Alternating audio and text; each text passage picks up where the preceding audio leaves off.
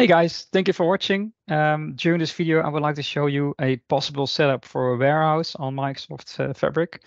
Um, I'm a SQL guy, so I'll be focused on the SQL end of things. So I'll be using the SQL endpoint. I'll be using SQL queries to uh, query historical changes. And I'll be writing SQL queries for the uh, fact and dim tables because I'm going to build a data mart or a dimensional model on top of the data warehouse in this case. So you can go both ways on Microsoft Fabric. You can go Lakehouse, medallion setup, uh, like like you see here, like the bronze, silver, gold, and you use uh, notebooks and PySpark and Python scripts to just prep data and then store it again as files and then uh, build views on top of those. And then, but you know, I'm a SQL engineer. I would like to just, I would I love to do things in SQL, and uh, that's actually what I did. So I did create a uh, warehouse framework which you can easily use to generate historical tables. Uh, and those historical tables will be based on the uh, SQL endpoint um, from the Lakehouse files, actually. So first things first, let's zoom in on, onto the Lakehouse. Um, as you can see here, a couple of folders. So the this setup is following the medallion principle. It's bronze, silver, and gold. So the bronze would be uh, the raw, the landing folder, so to say. And then if you uh, expand this one, you can see there are four sources right now. And um, during this demo, you know, focus on the AdventureWorks. Um, I have a couple of files in the root folder. Those will be processed by an ADF pipeline later on.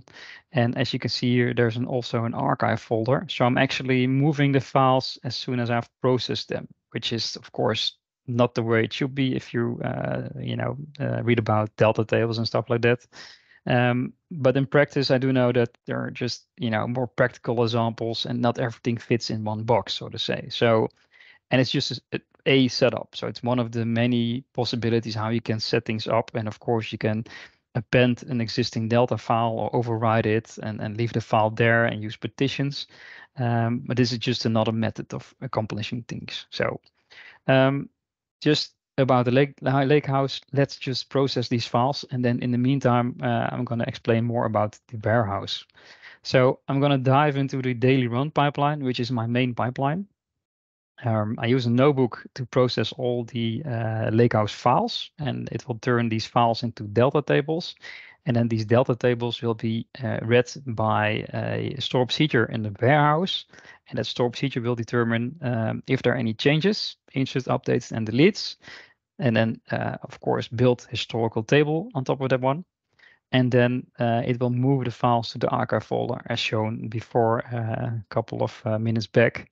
And then in the end, we're also going to process a data mart. So we're going to uh, process a couple of fact tables, a couple of dim tables, um, they're currently copying data or they're, they're querying stuff and they're uh, exporting the data again into a new uh, physical table, so to say. I know that in, uh, you know, in the, the latest news, latest blogs and articles that you read is that you know you don't want to copy things a lot. Um, but looking from a practical example, uh, I have a lot of customers with like 100 gigabytes, 200 gigabytes of data, um, and I know from a fact that if you use views on top of views on top of views with subqueries using views and inner joins and cross apply with views, at some point something will break and then you go back to either a store procedure and a physical table. And of course, a store procedure is way more easier. You can you can put in a lot of business logic in there, of course. And if you have customers that have well a bit older data sources that might not even have modified date or doesn't even have a primary key in it, then it's really nice to have at least you know the space and the the, the options that a store procedure will will give you because you can put in a lot of queries and a lot of data cleansing integrations inside that single store procedure that is not allowed in a view. Just just that simple. Um, okay, so I'm just going to run this one and it will run in the background and then let's switch over to the warehouse. Um, I did build a warehouse uh, framework for this. So I can actually query the metadata in the Delta tables in the Lakehouse, fetch the metadata, and based on that metadata, everything will be generated. And there are there are a lot of videos uh, about this um, in the series of YouTube. You can just sit back, relax, get a cup of coffee, and I think in 20, 30 minutes, um, you've seen it all. So it's really cool. Um, but for now, you see here that I have AdventureWorks as a source, uh, a data mart here based on AdventureWorks. Uh, logging schema, of course, master data for static lists and, and static table data, Monkey Data Warehouse, which is of course um, the, the, the framework that I use for generating the data warehouse. Star Wars as a source and the Star Wars data mart on top of that one. And here you can see that uh, the logging is actually nicely filled. And I can show you that every time you run things, there is a source, an object status, duration, of course, insert, update, delete, and an error message. And then if you zoom in to the data mart logging, and you see here that there's an actually an example that uh, that raises a throw error. So in this case, this one failed, which was of course intended. Uh, but also here you can see the duration, number of inserts, and currently processing uh, AdventureWorks data mart and the Star Wars data mart. So that, that's just an overview of the warehouse in like two minutes. Um, but let's go back to the daily run pipeline. And this pipeline is now still processing the lakehouse files and turning them into Delta tables. So let's hop onto the process mart pipeline which is of course the one that we're going to use to populate the data mart. And then first things first, first start processing the dimensions, and then we start processing the facts. Um, and here you can see that it first looks up all the store procedures that have a dim prefix in it. And then for each store procedure, it executes the store procedure in parallel. And if something goes wrong, an error will be uh, written into the logging. And same goes for the facts. So first it queries all the fact related store procedures, and then for each fact, it starts processing things in parallel. Um, this is the only way to, to execute things in parallel, of course, because SQL, or at least a SQL query or while, it runs things sequential and not in parallel. So that's the reason for that. Um, well, you can see here that it actually done with converting the files into Delta tables. It did fetch the existing list of delta tables that are available. And for each file that exists, it's going to process them by processing the, um, the data into the historical tables and then moving it to an archive folder. And in the end, it will process the data mart. Let's see if we can already see the results. Uh, so processing went well. Uh, we do see failure here, but that's plainly simple because uh, the file itself is not a delimited text. It's actually a Parquet file. More on that on a, in a different uh, YouTube uh, video in this series. But this one is actually being uh, is failed as intended because it's different extension, right? So the next step it will uh, succeed, as you can see in here, and then it will move the file. So everything runs fine. Um, and as you can see here in the logging table,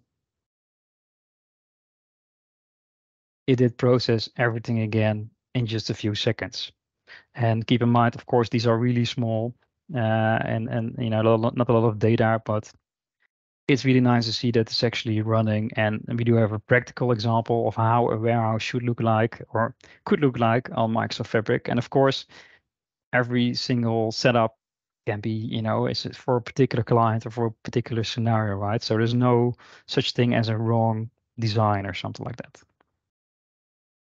Okay, I hope it's running. It's still not processing the data mart, but um, well, it will in a few seconds, I think. Uh, let's see if I can refresh this one. Okay, it's all done. I'm gonna click refresh.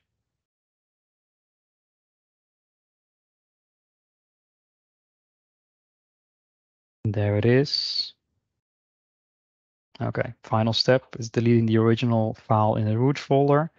And basically what it does is it's moving these files. So if I now refresh this one, they're gone and they actually got copied to a new folder on the 27th of June. So which is nice backup, right? You can always fetch a, a set of files, put it in a root folder again, and then start processing it.